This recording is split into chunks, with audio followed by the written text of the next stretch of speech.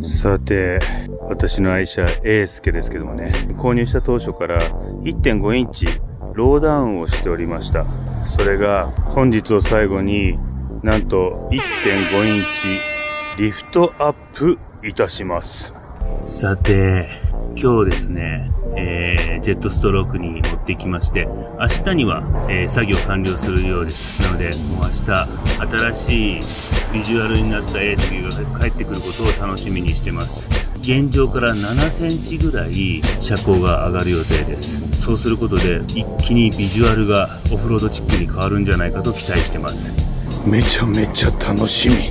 毎度おなじみ、ジェットストロークの小田切さんです。じゃあ、それです。今回僕の車は、はい。リフトアップ、アップ。あのー一応ね、はい。ローダウンして、マッドテレーンを履くっていう僕の美学がありましたが、はいはいはい。ただ、ただ、いそこを傷つけるだけです。下げは、そこを引き換えにかっこよさを手に入れるっていうか。そうね、機械に。でも俺の遊び方では、はいもう無駄でしかなかったので、ね。今回、アップ、アップ。上げ上げで。あ、これ知ってる、なんていうの、玄武玄武。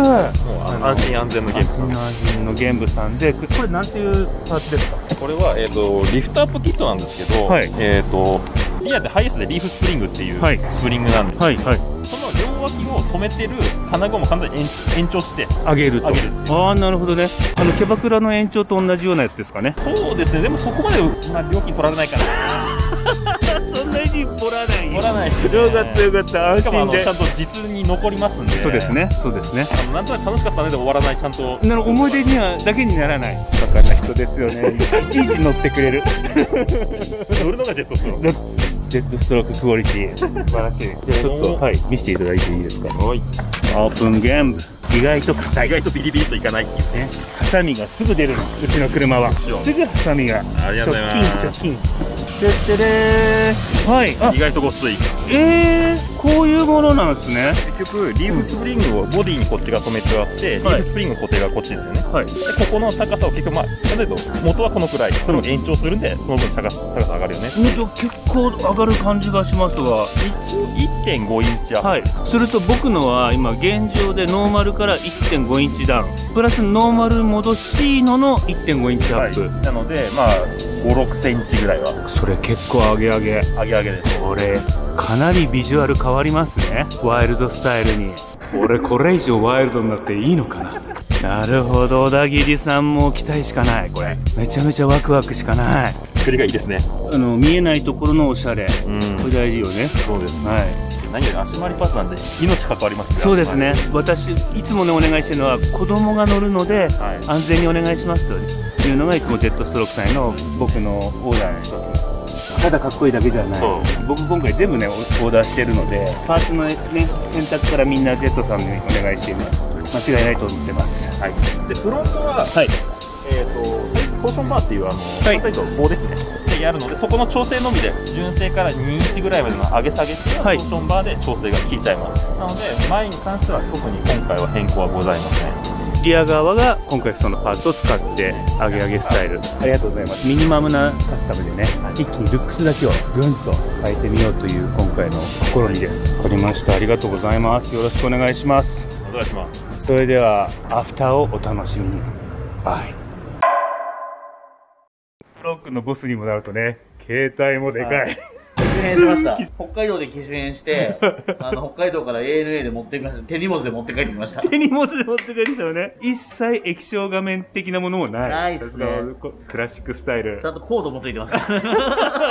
しもしもってやるやつでしょそうです、そうです。見 持ち運ぶ時はこうですから。ヒップホップスタイル。ヒップホップスタイル電話。えー、ガラクタばっか買ってくる社長でいつも怒られてます。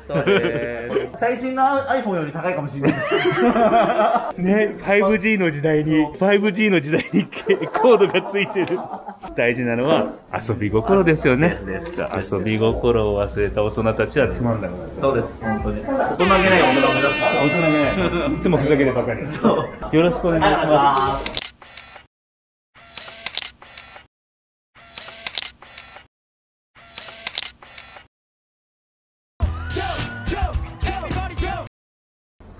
体どんな仕上がりに。やったー！じゃーん上がってる！めちゃくちゃかっこいい！なんてこったかっこいい！かっこいい！かっこいい！こんなに？こんなに上がっちゃうの？かっこいい。やばい。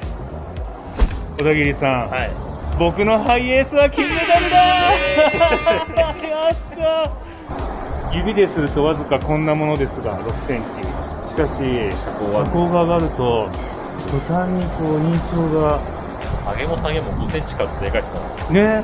全くこう違うルックスになる。かっこよすぎる俺優勝。ありがとうございます。ジェットストロークドレスアップしていただきましたのでローダウンの美学とは言ってたんですけども、実はジェット僕はこのビジュアルを求めていたのかもしれません。さあ今回えーリフトアップをしていただくにあたってこのパーツを組み込んでいただいただいたんですね。すね。これなんていうんですか？これシャックルって言います。シャックル。あの、顎がこうなってる人のこのシャックルですシャックルですね。拾ってくれる。さすがジェットストローククオリティです。そう、なるほど。これによって高さを上げられる。こっちもですね。はい。えーメーカーが玄武という有名な足回りのメーカーさんですよね。はいこれは後ろ側だけなんですね。でこいつ自体を上に上げることによって、はい車高が下がるみたいなやつが入ってたのであそれを抜いたこれですね。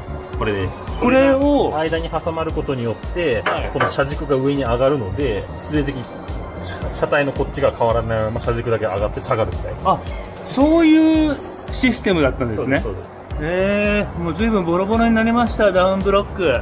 なるほど。それを取って、でさらにこいつを延長することによって車高を上げるえー何度も聞きますが、キャバクラの延長とは違う延長。違いますねあれはあれ楽しいかもしれないですけどこっちは形に残ります 思い出だけではない。思い出だけではないちゃんと残る延長をむ。しろ下手すの虚しさしか残らない そうですね、帰った後のね。そういうのもなく。あとは下をすらないっていうそうですね。僕は去年本当にお腹の下を吸ってしまいましてですね。はいそれがまあ、きっかけで今回、あのリフトアップをしたいというはいことになりました。面白いね。そういう風にして下げたり上げたりしてるんですね、ハイエースの人たちはハイエース。の場合はそうですねこの、これが武骨でかっこいいですね、このシャックルっていうの。めちゃめちゃ、こう、俺の理想のルックスになった。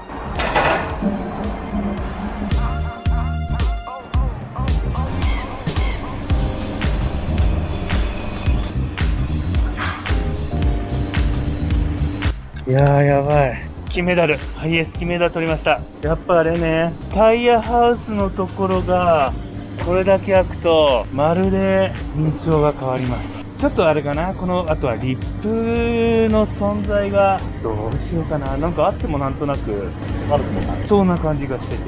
ちょっとね、しばらくこのままで乗ってみようかな。ね悪くないなぁと、はい、思います。まあ、このタイヤが履けたことで、より一層俺の理想のビジュアルになったんだなって思います。今回もジェットストローク、どうもありがとうありがとうございますというわけでリフトアップ計画、今日はここまで。バイ。